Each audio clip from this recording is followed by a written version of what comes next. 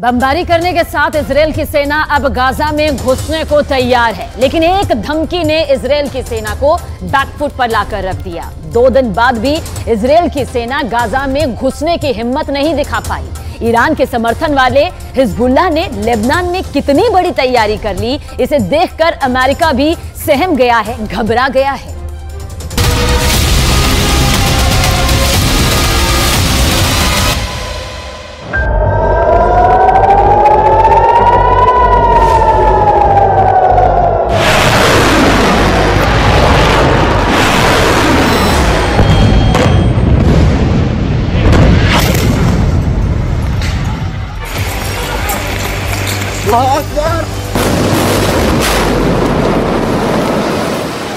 Hezbollah के अपने video viral करने शुरू कर दिए हैं।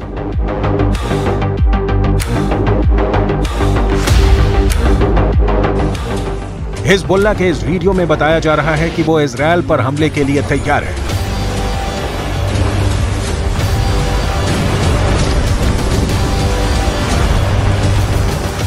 इस वीडियो में हिजबुल्ला का मैसेज साफ़ है कि उसका अटैक ऐसा होगा जो इसराइल रोक नहीं पाएगा।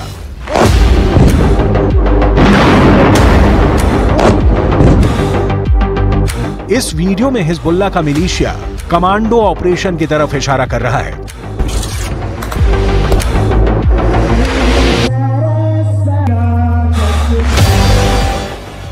इस वीडियो में हिजबुल्ला बता रहा है कि उसके कमांडो मोटरसाइकिल पर आएँगे और इसराइल की सेना भागती हुई नज़र आएगी।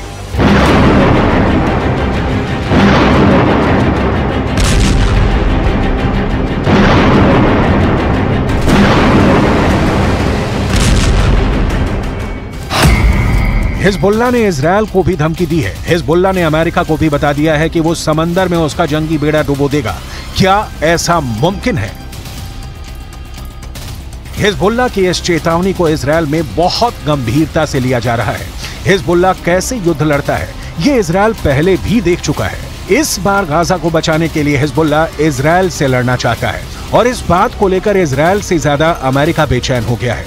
ये दोनों देश हिजबुल्ला को आतंकवादी गुट मानते हैं, जबकि रूस, चीन, कतर, ईरान और भारत भी हिजबुल्ला को आतंकी संगठन नहीं मानते। संयुक्त राष्ट्र भी हिजबुल्ला को सिर्फ़ एक मिलिशिया मानता है, लेकिन हिजबुल्ला की नई धमकियों के बाद कई सवाल उठे हैं।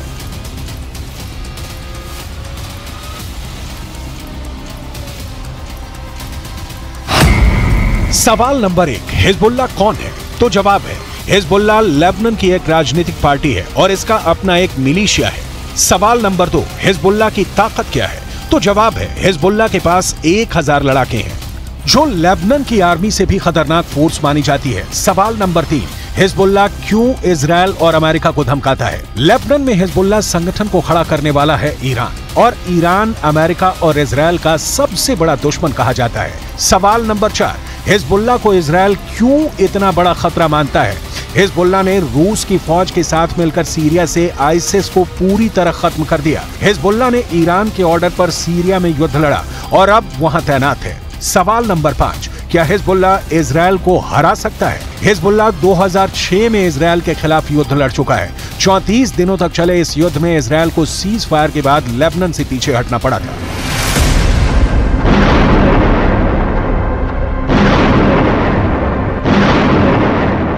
अब 7 अक्टूबर को हमास के अटैक के बाद गाजा पर इसराइल के हमलों ने हिजबुल्ला फोर्स को सुपर एक्टिव कर दिया है। हिजबुल्ला ने बहुत साफ़ साफ़ शब्दों में कह दिया है कि वो इसराइल पर हमला कर देगा और ये वार्निंग देने से पहले इसराइल तक मैसेज पहुँचा दिया।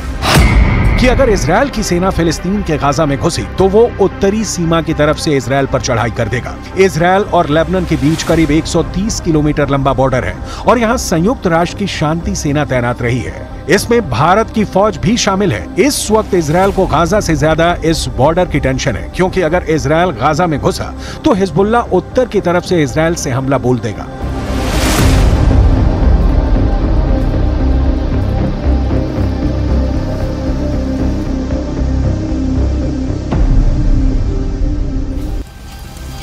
हमास और इसराइल की सेना एक दूसरे के खिलाफ कितनी ताकत रखती है? और क्या हिजबुल्ला वाकई इसराइल के लिए ऐसे हालात पैदा कर सकता है कि वो उसे हरा दे? इसे समझने के लिए आपको हिजबुल्ला की उस चेतावनी को समझना पड़ेगा, जो उसने अमेरिका को दी है। क्योंकि अमेरिका ने अपनी नौसेना का कैरियर बैटल ग्रुप भूमध्य सागर में पहुँचा दिया है। अमेरिका का ये बेड़ा, जिसमें फोर्ड कैरियर के अलावा पाँच बहुत ही खतरनाक डिस्ट्रॉयर हैं। इन सब में हर तरह की एक हज़ार से ज़्यादा मिसाइल किसी भी वक्त हमले के लिए तैयार है कोई दुश्मन नहीं चाहेगा कि उसके सामने ऐसी चुनौती खड़ी हो जाए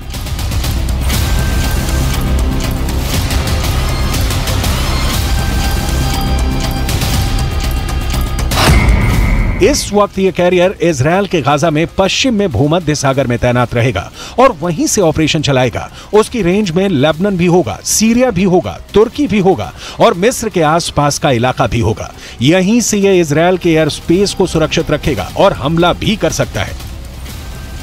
ये सब ऑपरेशन अमेरिका के फोर्ड क्लास के कैरियर और उसके बेड़े में मौजूद बड़े बड़े डिस्ट्रॉयर पूरा कर सकते हैं।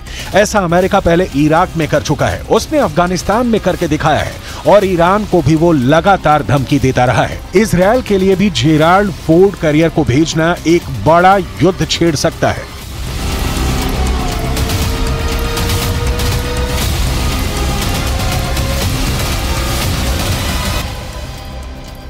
यही भरोसा अमेरिका अब इसराइल को दिलाना चाहता है कि समंदर से ऑपरेशन चलाकर अमेरिका सीरिया पर भी बमबारी कर सकता है, लेबनन के बॉर्डर को भी सैनिटाइज कर सकता है। लेकिन लेबनन में हिजबुल्ला को अब ईरान से ऐसी मिसाइल मिल चुकी है, जो अमेरिका के इन विशाल काय जहाज़ को पल भर में डुबो सकती है।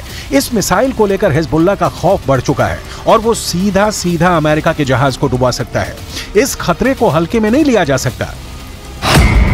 लेबनन ने 2006 में इसराइल में एक कॉर्वेट, यानी जंगी जहाज़ पर एंटी शिप मिसाइल से हमला किया था। इस हमले में इसराइल के युद्धपोत को भारी नुकसान पहुँचा था। अब हिजबुल्ला के पास जो एंटी शिप मिसाइल है, उसकी रेंज 300 किलोमीटर तक है।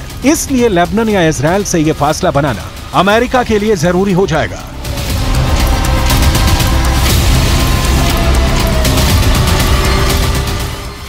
इसमें कोई शक नहीं कि हिजबुल्ला की लीडरशिप तेहरान से मिलने वाले ऑर्डर पर काम करती है। इसलिए सवाल ये भी कि क्या ईरान चाहता है कि हिजबुल्ला इसराइल पर अटैक कर दे? ईरान ये भी बहुत अच्छी तरह से जानता है कि इस वक्त इसराइल बेहद कमज़ोर है, या फिर अमेरिका की शक्ल में उसे नई ताकत फिर से मिल गई है।